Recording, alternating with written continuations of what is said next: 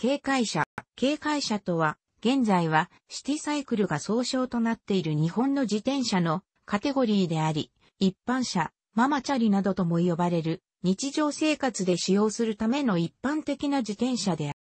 ある。古くから普及していた実用車に比べ、国史や重量荷物積載に備えた頑強な構造を見直し、乗用移動用途を主目的に軽量化や操作の軽易さなどに重点を置いたもので、スポーツ用自転車とは別種のカテゴリーに属する。第二次世界大戦以前頃のものは、日米富士自転車の富士派王号など、既存実用車の各部を軽量化したり、簡易化したもので、各部が異なっている場合がある。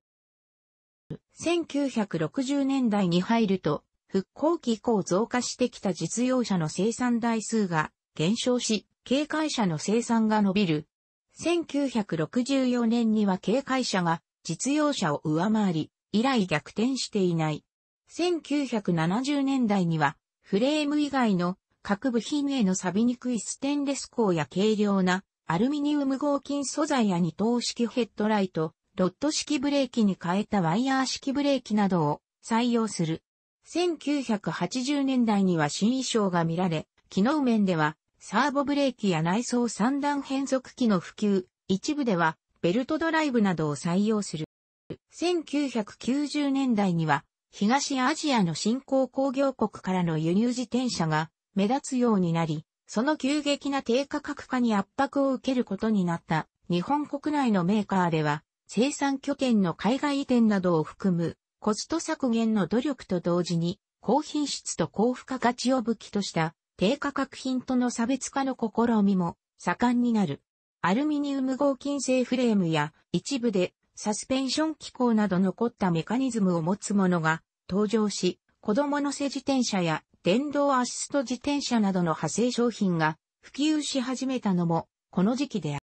2000年代、日本工業規格の JIS D9111 自転車分類及び諸言は、従来の警戒車の名称を廃止し、シティ車とする。毎年8月、北海道の十勝インターナショナルスピードウェイでは、全日本ママチャリ耐久12時間レースが行われている。静岡県の富士スピードウェイでは、ママチャリグランプリが行われていい。大分県のオートポリスでは、お買い物自転車耐久レースが行われている。警戒車は、ある程度の丈夫さと取り回しの軽さや低価格を設計目標とすることが多い。各部は以下のような素材を使用することが比較的多い。強度の点では鉄、ステンレスが採用されるが、軽さを重視する場合はアルミニウムがよく用いられる。素材の順番は使用頻度であるが、価格、強度、軽さのいずれが求められるかによってそれぞれ図を使い分けている。なお、鉄を使用する場合は、サテンメッキを行うか、塗装を行って、錆を防いでいる。ダイナモランプはタイヤで、直接ダイナモを回転させるタイプと、ハブの回転エネルギーを発電に使用しているタイプがあり、後者の方が高価であるが効率が良く、騒音も低い。後者を利用する警戒車は、暗くなると自動で点灯する、オートライト採用車である。前輪周辺と同様、期待される能力に応じて素材は使い分けられる。アルミニウムのフレームについては軽くて、取り回しが楽であるが、廉価なものは走りが重くなっているので購入時には注意が必ずである。前ブレーキは多くがリムの回転をゴムの挟み込みによって停止させるタイプであるが、リムの素材やブレーキの歪みなどが原因で音鳴りする。鉄は塗装あるいはサテンメッキであるが、ハンドルについてはステンレスが増えてきている。フレームの塗装色は、かつて比較的地味な色が多かったが、近年では原色に近い色が数多く存在し、バリエーションは各メーカー内でも多様である。後輪は多くのパーツの組み合わせが存在する、比較的複雑なパーツであり、他の自転車と同様価格も前輪に比べて高い。リムは鉄ステンレスと進歩してきたが、軽量を狙ってアルミ製を使うことが増えた。しかしステンレスよりは劣化が早いのも事実である。キャリアやスタンドは合成が求められるためにアルミ製はあまり存在しない。また、内装変速機が採用されているものもあり、三段変速のものが多い。あとブレーキは大まかに以下の種類に分けられる。バンドブレーキは最も価格が安く、革や樹脂等を練り固めたライニングが貼り付けられたバンドを用いて、ハブ同軸の金属ドラムを締め付けて停止する方式である。構造も単純なために、廉価な警戒車と寸法上の理由のため、子供車に採用されている。しかしながら、ある程度使用すると摩耗しブレーキなきが起きるので、一定の期間ごとに交換が必要である。サーボブレーキは、唐沢製作所の開発したブレーキであり、外観はバンドブレーキとよく似ているが、内部構造は大きく異なり、ユニサーボ式のドラムブレーキとなっている。バンドブレーキに比べて圧倒的に音鳴りしにくい。ダイネックスブレーキはブリヂストンの開発したブレーキであり、バンドブレーキがドラムの外側からバンドを締め付けるのに対して、ドラムの内側からライニングを押し付ける。ブレーキの調整はやや困難だが、堅牢さに優れ、音鳴りもしにくい。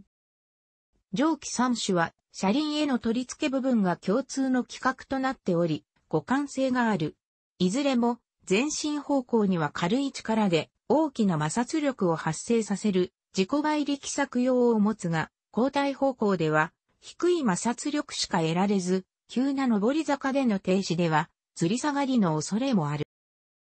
ローラーブレーキは、シマノの開発したブレーキで、音鳴りしない上に、雨天時でも摩擦力が低下せず、交代方向にも前進時と同じ摩擦力が得られるのが特徴的なブレーキである。構造も複雑で価格も比較的高いが、現在は多くの警戒車に採用されている。一定の期間ごとに指定のグリースを注入してメンテナンスを行う。取り付け部分が島の車の独自規格となっており、同社製のハブを持つ車輪としか組み合わせることができないが、取り外しに特殊な工具は必要なく、ブレーキシステムがユニット化されているため、交換は比較的容易である。メタルリンクブレーキは、吉貝の開発したブレーキであり、ドラムに外側から金属板を押し付ける。原理はバンドブレーキに、性能はローラーブレーキに似る。外観からはグリースに溜まった熱を逃がす大型の放熱板が目立つ。バンドブレーキ、サーボブレーキとは取り付け部分に互換性を持ち、構造上お隣はしにくい。警戒車は荷物の積載性、部品の手に入りやすさなどの点が優れる。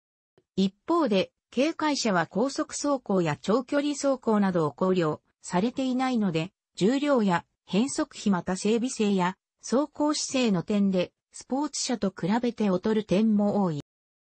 楽しくご覧になりましたら、購読と良いです。クリックしてください。